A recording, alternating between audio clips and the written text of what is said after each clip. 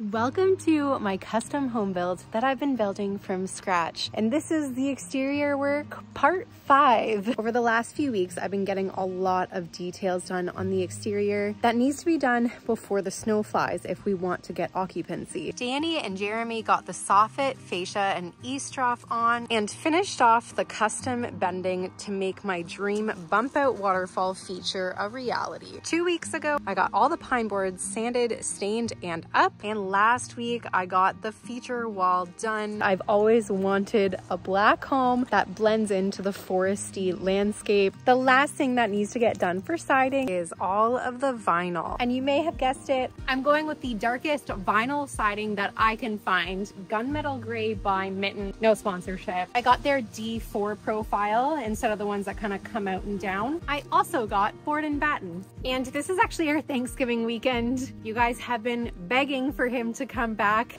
I come bearing treats. Yay! I'm the treat man. the treat man. Autumn spice. Oh. And he brought me. Hi, Mom. Hi. I'm worried about Craig's reaction. I know, he might say it's too dark, but I like it. But I want a black home, Craig. Very pretty. Thanks! First thing we're doing is getting the scaffolding up so that we can strap the gable ends. That way the siding on the gable ends is the same depth as the siding on the walls. Shake test! First things first, there's some holes to tape. Second things second, we have a bunch of strapping that Cam and I cut weeks ago when we thought we were gonna be able to get this done. Good dancing. Little behind the scenes right here. Wow. Okay, so we gotta do two rows, side by side. Got my pencil, I want it back though. Many of you have been wondering where the heck is Craig and why hasn't he come and helped you? Like, my God, how selfish of him. I'm just kidding.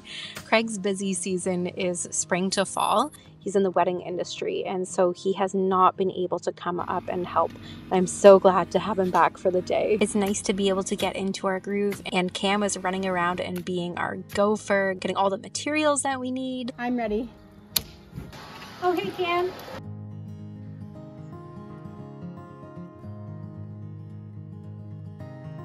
It's a bit of a rainy day it's like diarrhea. Oh my daughter's favorite word right now. Word, yeah. So we ran out of the strapping because we did like a double row at the bottom for the H channel, but Cam is cutting more with what we have, which is small strips. So we're waiting for that. We're gonna get the ladder up and tape the rest and do the rest. Now don't do this at home, putting a ladder on top of scaffold. I highly recommend that you... I did it all last week.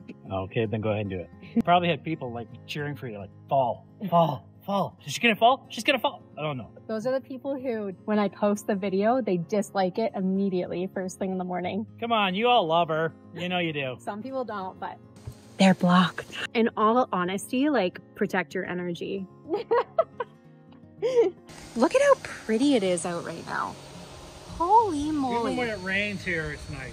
It is. Like, look at it. It's stunning.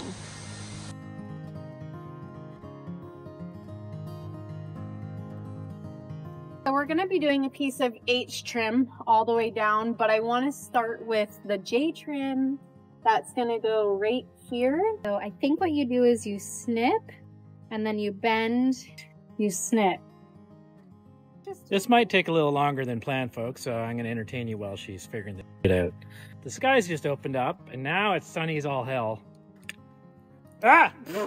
this is going to take me a long time, and while Craig is here, I want to utilize him for more of the rough carpentry stuff. So we're going to move the scaffolding to the other side and get the other gable strapped. And then we should probably spend time as a family since it is the Canadian Thanksgiving weekend. I thought we would have siding up today and I was mistaken. It's almost five o'clock. They got here around 12. We had like a half hour break and our meeting and greeting and everything. So like four to four and a half hours. We're all finished. I'll finish the strapping. Yeah. And then I have to tinker with all the what is it called? Uh, Flash uh, trims. J, J, channel. J channel. J trim. J trim. Lots of J. Some guy named J. So it's done though, and that would have taken me so long, especially with the chalk line. Like having two people is helpful. Now it's time for Thanksgiving dinner. Cam started this peanut butter coconut curry this morning with chicken. Good morning. It is now Tuesday morning. It's time to get some trim work done for the siding, which I'm completely new at. So let's learn together. First of all, I'm going to start with the corner trim and then work on the J trim going up the gables. Because I have my scaffolding out, I'd like to get my gables done and sided first. It's already 11. I have a short day because I was running errands this morning. So today is kind of like a practice day. 98 and a half. So I'm trying to remember everything that Danny and Jeremy taught me a few weeks ago when they started some of the trim work because they wanted to show me how to do some of it. And you leave a little bit of a gap at the bottom. So like as you can kind of see, it's a little bit twisty as it goes up, like it twists around the corner. So what Jeremy told me to do is just kind of like find your best spot, nail it in, and then put a level up to it and then level up as like you go use this as like a sideline. Looks good here, looks good there. What's nice about the foam, you can stick the nail into the foam wherever you want it, and then it's in there and you don't have to hold the nail. Ah! These nails are really long. Well, that didn't go well. That got really, really bent out of whack. Shoot. I did it! Second time's the charm. And then you just leave the nail a little proud so that there's movement. I'm just rewatching my video from two weeks ago where Jeremy was teaching me how to do the corner trim. Seems like he nailed in one side completely before he put any nails on the other side. This looks absolutely terrible. Like it's, it seems, no, it's just terrible. It's like, it looks twisted all the way up. It's just like, it's wide out here. Like look, so wide at the bottom. Why is it doing that? So like Jeremy's corner has a bit of variation at the bottom too. And I'm assuming it's just because of the aluminum there. But like his is, it's much better. It looks more 90 degrees all the way. Mine doesn't. I'm just trying to like take a parenting lesson for myself. If at first you don't exceed at something, try, try again. But first of all, I'm not trying for another 15 minutes. I'm gonna go sit. We've just had the absolute best colors this year. Oh, it's so bad. Yeah, I'm gonna try again.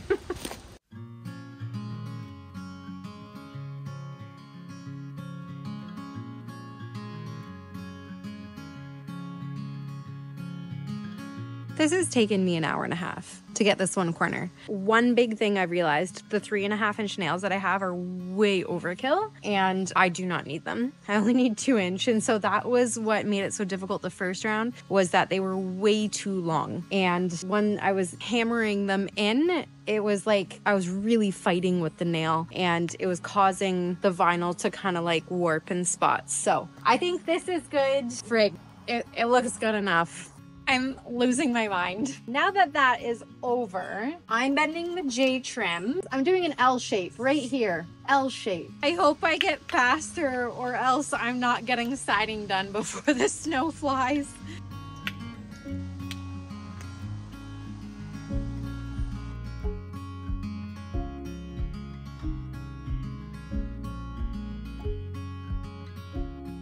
All right, I'm like I'm gearing up to call Danny. This is ridiculous.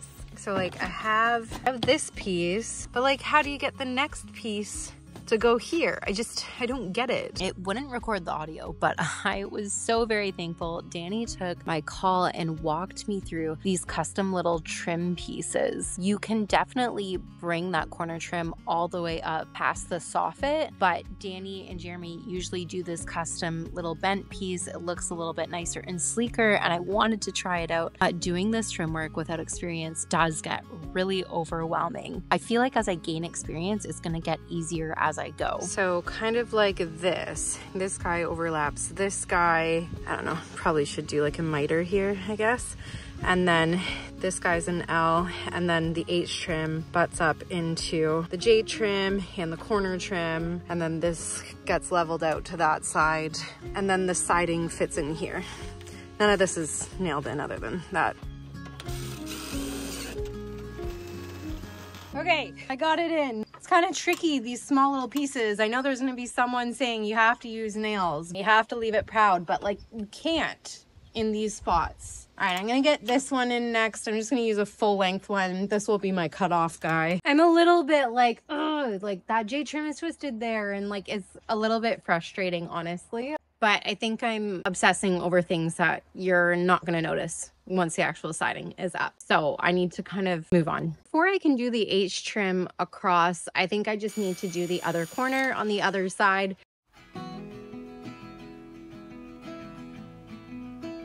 I spent like an hour trying to get this corner right and it's so twisted. I just, I don't understand how they can be so out. It's like it's angled that way instead of that way. I don't know.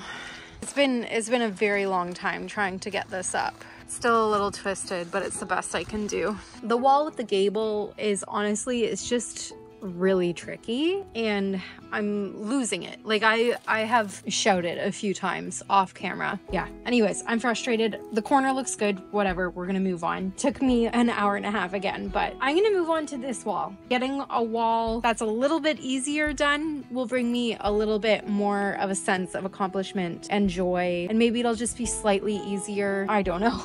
I'm gonna trim out the bottom first. I'm having the J channel sit on top of this lip. I think it will look the best so that we can level out the siding nicely. I'm gonna cut a little slit on this side so that it goes into the corner trim a little bit more easily.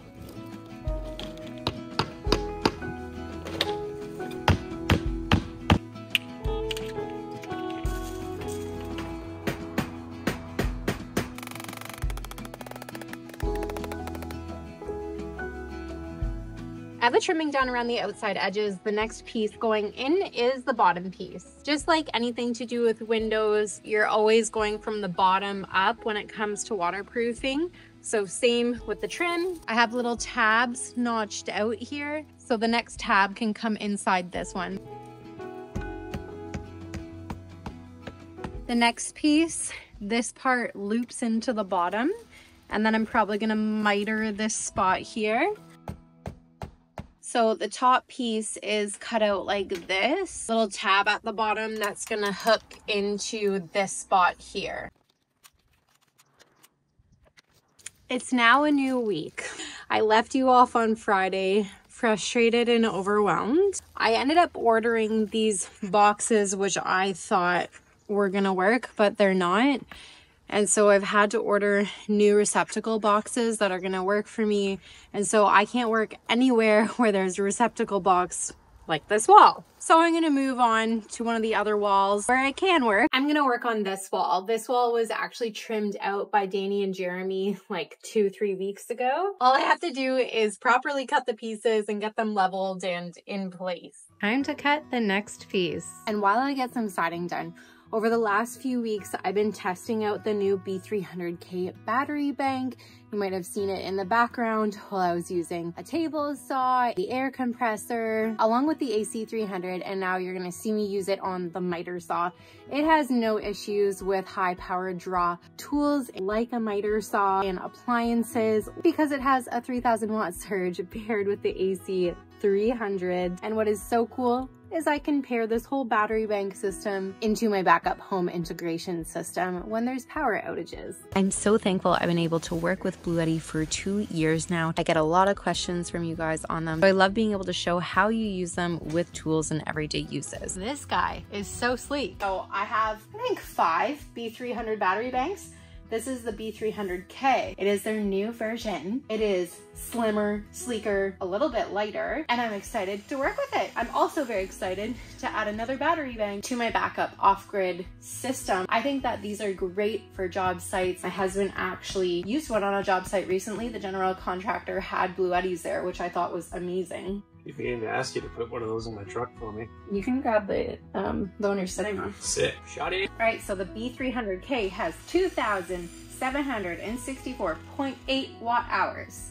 Amazing. It can be hooked up to the AC300 and any of these battery banks hook up to the AC200L as well. These battery banks have a modular design so you can actually hook up four battery banks to the AC300 unit up to 11,059 watt hours. The AC300 has no trouble running a table saw or a miter saw or an air compressor. I've been using this system for over a week with all of my air nailing with my table saw and in that week I've gone from 67% down to 2%. The batteries do last a decent amount of time. With the B300K, has an automotive grade LiFePO4 battery so you can enjoy an extended lifespan and enhance safety with cutting edge battery technology. And with the B300K, you can get a 3 plus 1 years warranty for long-term reliability. It also has 4,000 life cycles, which is great for daily needs or a reliable backup for power outages. And just a reminder, the AC300 has six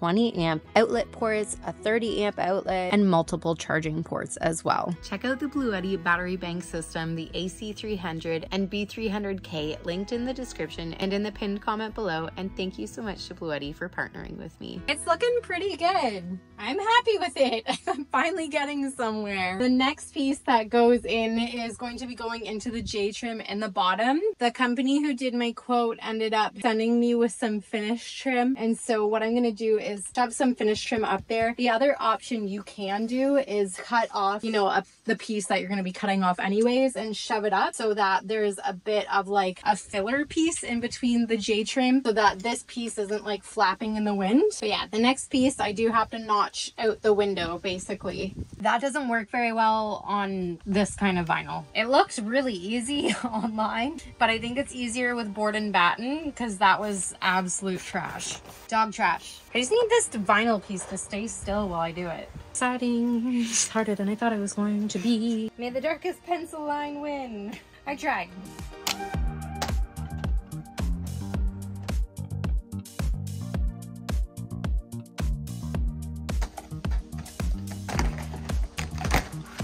Kind of surprised.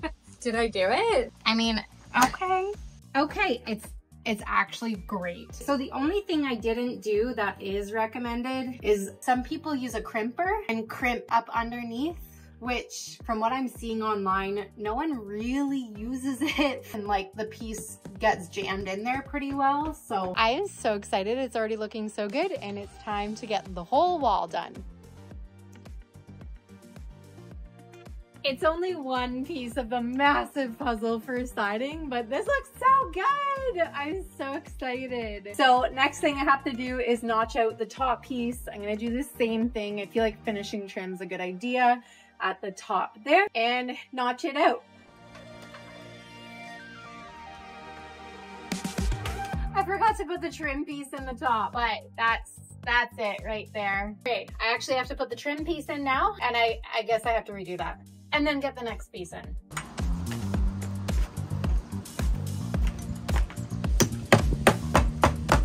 Oh my goodness, it's mostly done. So where we're at right now is I need a two inch strip for the top, which is kind of really wasteful, slightly frustrating very last piece of the entire wall. I may go and get that crimper thing if I find that this isn't staying in well, but the other piece went in nicely. So when I was watching a video yesterday, the guy said, you're not gonna learn siding in five minutes. And if you think you are, you don't have a proper respect for the trades. And I was like, oh, you're right. I need to be more patient with myself and have a higher respect for the trades. I'm not gonna learn it in a day or even a week. Sometimes it's gonna take a little bit of extra time to get it right. One wall done! Alright, I am gonna look. It looks so good. Oh my gosh. It's finally hidden. All of the crap is hidden on one little spot. I cannot wait to get this wall done. Board and batten, baby. And then horizontal finishing off over here. Good morning. Sometimes it's really tricky to like manage it all, but I started a crock pot this morning, so I just wanted to show you because I'm so excited. Dun, da, da, da. Chicken thighs and potatoes. If you could smell that meal, you would be overwhelmed by joy. It smells so good. All right, so I got my one little section of siding done. That's great. But in order to move on to the next section, I need to figure out what is going on at this door. I want the sections on either side of the windows to be perfectly equal with board and batten, which means figuring out where the H trim is going beside the door and figuring out what kind of siding to use around the door. It might be nice having this gunmetal gray, this gunmetal gray, and then this section black. I'm just trying to see like color wise, what would I like best against the brown? This doesn't look too bad. That looks pretty sharp. Honestly, I do think this going up is going to look cheap. So I think I will do vertical pine tongue and groove in here. This has been a lot of thinking this morning, but now that I know what I'm going to do there. I don't have all the materials. So what I'm going to do is just move on to trimming this wall because now I know where this H trim is going to be placed and I had to figure out this part of the wall first. J trim along the bottom, H trim up the sides. I have to finish off the J trim around the window and finish off the J trim going up to the peak.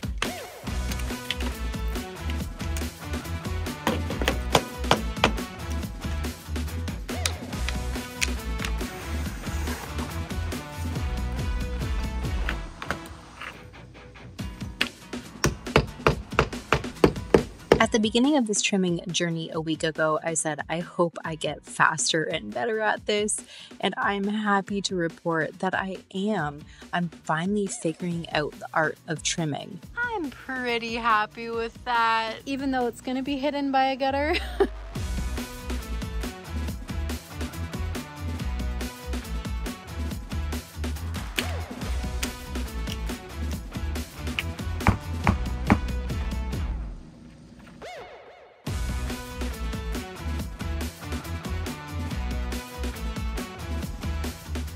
Since this wall is going to be board and batten, the last trim that needs to go in is a horizontal breakup piece, an H trim, because the board and batten only goes to 10 feet tall. I'm gonna bring my line right across, basically where the two roof lines meet, I think is the best point. Get it all leveled out and installed.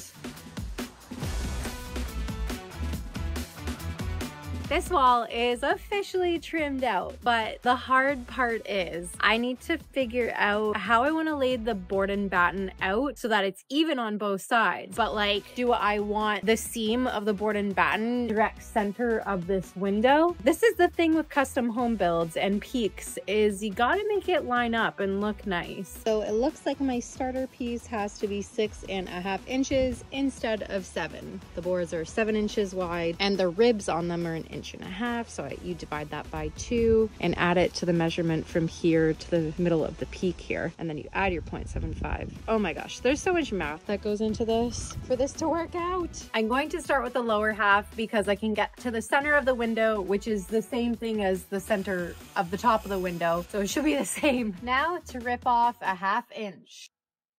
First piece. That's a really level. I'm going to leave that, get the next piece on, level that piece up. It'll be nailed in. It'll hopefully be good to go. Oh, wait, how? I think I cut this piece wrong. I needed to keep the nailing flange. How many of you were like, no? Oh. We're gonna try this again. Like that. Kind of weird starting with a batten shoved into a trim piece, but there's not much else I can do.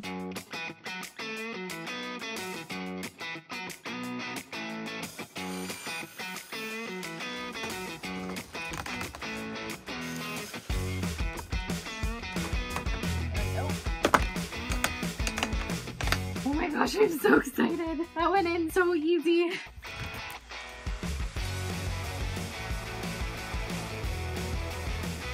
This is looking so good and it barely took me any time at all. Time for a finisher strip.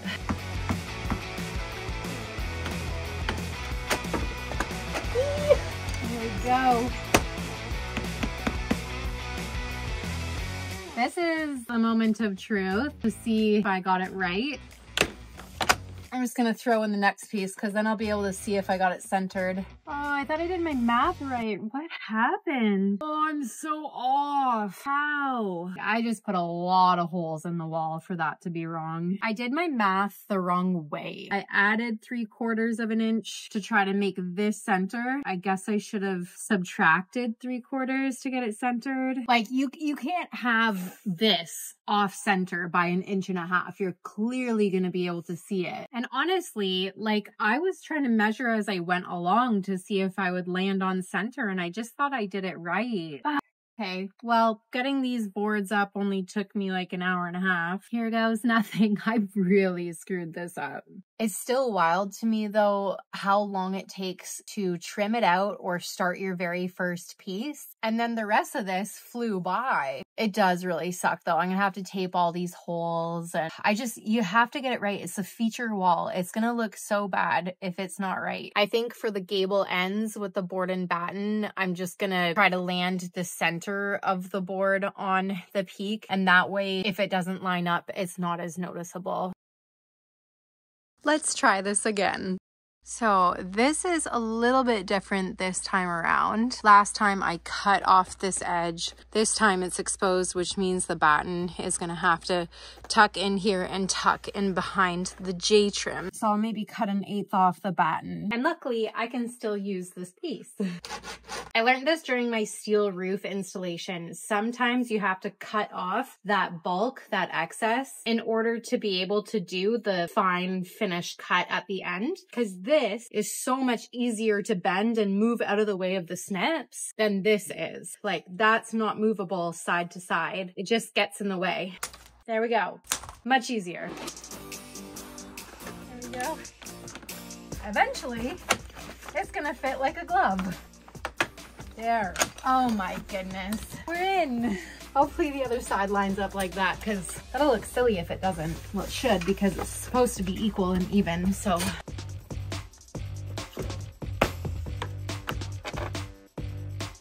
I know I got it wrong the first time, but boy, does it ever feel good to have everything centered and lined up on the second time.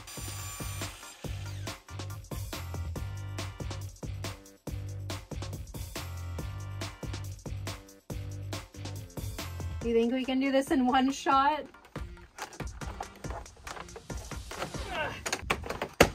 I did it.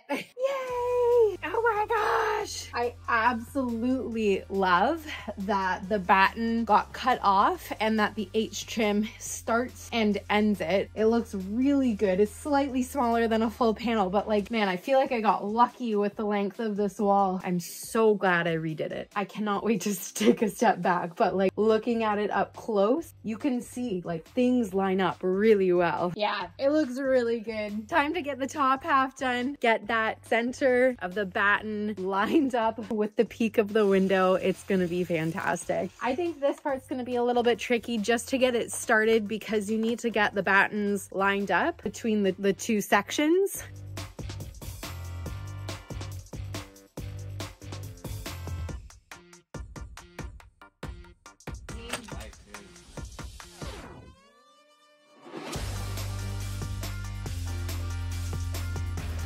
It's done. I'm so excited. I've been like, I've been looking, but like, let's all look together. oh my gosh, I love it. It looks great. I'm so happy I did this. Cam was like, I don't understand why we're doing two different siding types. And I was like, it needs to be a different siding type. It like makes this whole wall a feature in its own. And when he saw it yesterday, I was like, see what I mean? And he was like, yeah, I get it. Like, I'm glad you did that. So I'm so happy. And this just lined up perfectly. I'm so happy. I really wanted to get this whole wall done this week just to feel like I'm making a ton of progress and to get this small wall done today. But as you can see, it's raining and I'm so over the rush of this. I'm done. Welcome back inside. It's been a while since we've been in here, and the last I left you off in here was finishing up the vapor barrier and the insulation in this room. There's still more to go. But I have some bad news, I guess, to me, and I took it really hard last week, is that we're not getting in here for winter. There's just no way. I have been doing fine with this build as a whole and really enjoying it. And then all of a sudden, the pressure was put on to get into this house for winter, to make it livable, to not be living in the trailer anymore. And I felt like if I wasn't going to be able to get it done, that I was really going to disappoint my family, my daughter, specifically. Like, I want her to live in this house. I am so excited for her to have space again. And last week, it, it was just getting to me so much. Like, there's so much to do. I really had quite a bit of a mental breakdown and set some boundaries and I'm feeling a lot better, but I just realized how much the last like few months have stressed me out and I don't want to keep doing it. It's not worth it on my health, my mental health. Like your physical health even is so affected by your mental health. And I'm I'm done. I'm I'm so over it. I just want to take this at a relaxed pace again. Get ready for winter. I'd be happy to get the attic insulation in, all the vapor barrier up, and the heat on before December. That way it's nice and cozy to work in here. Get the wood boiler fired up, pass all the inspections that I need to pass before I can start drywall. I don't want to end up resenting this home or losing my health over this home. And our trailer, it's functional we have a furnace, we have running water, we have hot water. We've been trying to make this space feel more like home. And although we've been living in there for three years, like we've been pulling out our pull out couch every night and watching like a family show together that we all like and spending time together in literal closeness. And I wonder if three, four years down the line, if I'm gonna miss those moments with my little girl all cozied up on the couch Hopefully she'll still want to do that as a teenager. I'm probably going to miss those moments. So there's no point in rushing this build. There's no point in getting in if I'm going to lose my mind over it, which I was. and it's important to take your mental health so, so seriously because it affects every area of your life. So the bad news is we're not getting in for winter. The good news is, is I'm going to take care of myself. So I love you all. Thank you for being here. Sincerely, I'm so grateful. And let's keep slowly plugging away. Just a reminder, check out Bluetti, linked in the description below, for the B300K battery bank system along with the AC300 for all of your backup off-grid needs. Time to get the rest of the exterior done. And with that, I will see you next week.